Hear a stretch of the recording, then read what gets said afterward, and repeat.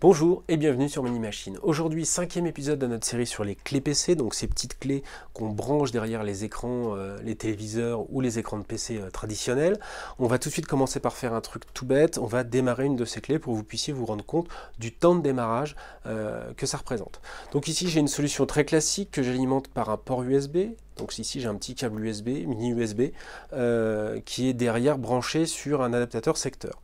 Là j'ai mon écran qui s'allume, on a un logo Google TV qui apparaît, ma clé ici, j'ai un, un dongle ici qui me permet de brancher une souris et un clavier, les deux sans fil, et ici je suis connecté à un adaptateur vers un câble qui est branché de HDMI vers DVI puisque j'ai pas de téléviseur pour faire ces tests.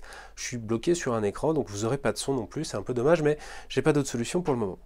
Voilà, donc Clé PC, on l'a vu, on a vu par le passé quel modèle à peu près choisir, même si c'est difficile de vous donner un conseil, elles se ressemblent vraiment beaucoup beaucoup, elles évoluent très vite. Euh, on a vu le format, on a vu également comment euh, les passer en français une fois qu'on les a démarrés, et euh, on a vu également comment les connecter au Wi-Fi, donc des trucs très très basiques sur Android.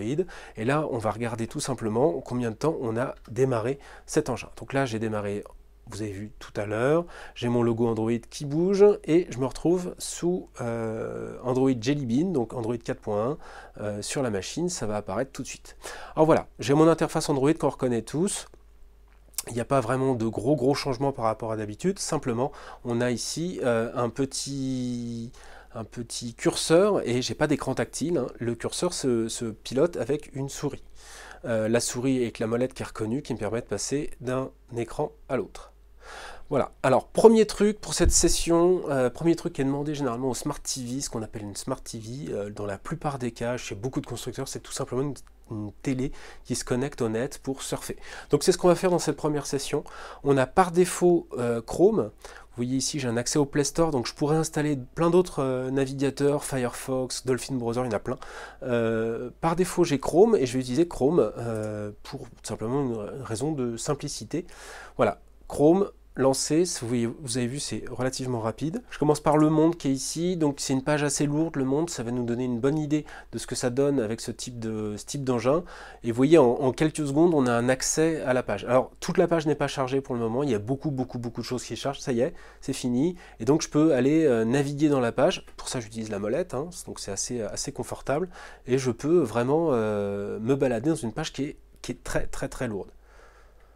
Donc ça se passe vraiment très bien, euh, c'est lisible, même si c'est sur un grand écran, c'est lisible, je ne sais pas si vous le voyez bien, mais en tous les cas on arrive à lire. Sur un écran même très très grand, si on zoome un peu, c'est euh, tout à fait lisible d'assez loin.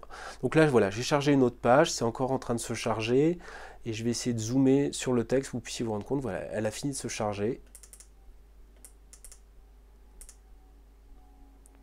On peut zoomer sur un bout, on peut essayer voilà, de zoomer sur la partie euh, qu'on a envie de lire. Et c'est franchement agréable, hein. c'est vraiment euh, quelque chose de très très, euh, très efficace. On ouvre un nouvel onglet, je vais lancer une vidéo YouTube. Voilà, j'ouvre une nouvelle vidéo YouTube. J'ai pris celle-là au pif. Ce qui m'intéresse, c'est qu'elle est en, en, 720p. Voilà, donc je vais pouvoir la lancer, la passer en plein écran. Et on va voir ce que ça donne.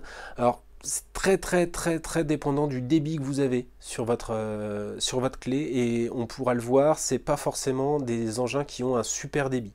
Par contre l'image est très belle là, euh, je suis en 720p, je suis relativement proche de mon, de mon routeur Wi-Fi donc ça se passe vraiment plutôt pas mal.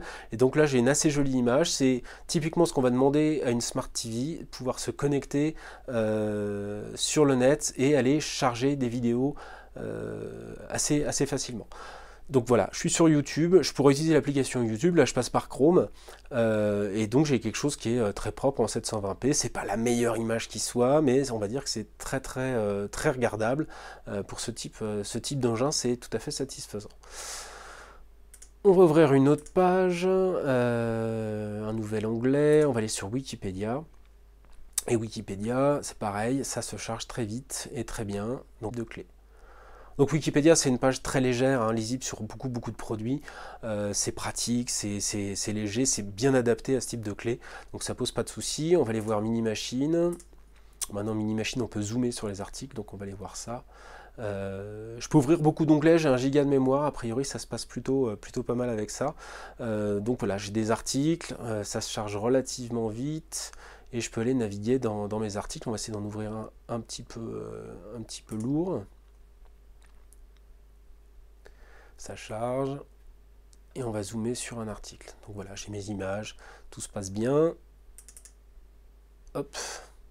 Voilà, ça, c'est mes favoris. Qu'est-ce qui se passe quand on a, euh, quand on a envie euh, de surfer un petit peu sur le site qu'on veut?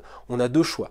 On a, quand on clique sur euh, cet onglet, la possibilité tout simplement de taper le, ce qu'on recherche sur un clavier qui apparaît à l'écran. Donc là, on tape lettre par lettre, hein, comme, comme, sur une, comme sur une tablette. donc si je tape à nouveau Wikipédia, on va avoir un retour sur Wikipédia. Et euh, l'autre solution, c'est comme j'ai pu le faire, euh, là j'ai cliqué sur l'onglet de recherche de Wikipédia, c'est donc d'utiliser un clavier. Euh, et là on va pouvoir faire une recherche sur ce, sur ce clavier et je vais taper au hasard fromage, voilà, Premier truc qui me vient à l'esprit. Je fais entrer et je me retrouve sur la page Wikipédia fromage avec nos spécialités françaises. Euh, et donc voilà, c'est euh, un, usage vraiment très très simple. Donc ça c'est l'usage basique d'une clé PC, surfer sur le net, ça veut dire regarder ses emails, aller sur YouTube pour visionner des vidéos, faire des recherches, regarder des forums. il y a vraiment beaucoup beaucoup d'usages possibles. On va aller regarder le forum de, Mini Machine en passant. Euh, et donc voilà, c'est vraiment un truc très complet. Si on a en plus le couple clavier-souris, euh, on a la possibilité vraiment de, naviguer euh, et de, pianoter des choses, des réponses assez longues. Hein. C'est vraiment très agréable à ce niveau-là. Donc ça, c'est vraiment l'usage de base d'une clé PC aujourd'hui, c'est transformer un écran en poste de surf d'appoint ou une télé en Smart TV connectée. On verra la prochaine fois tout ce qu'il est possible de faire au niveau multimédia euh, vidéo et je vous promets que le prochain épisode sera moins, long à venir que, euh, que celui-ci. Voilà, à bientôt